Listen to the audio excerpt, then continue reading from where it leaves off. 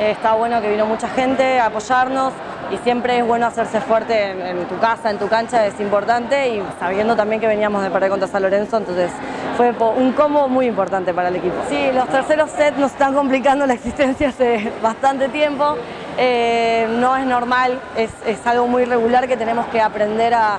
llevar adelante y a modificarlo. Es algo que tenemos que, sacar adelante, que aprender de que esto no puede pasar, porque bueno, el cuarto se jugó muy bien, pero hay veces que uno sigue con esa mala racha y no está bueno. Sí, mañana Villadora, sabemos que ahora está con un 2 a 2 en un tie con San Lorenzo, eso es positivo por varias cosas, porque reparten puntos por un lado y también porque vienen un poco más cansadas que nosotras. Eh, pero bueno, nada, eh, siempre cada partido es, es cada partido, hay que ir punto a punto y hay que lucharlo porque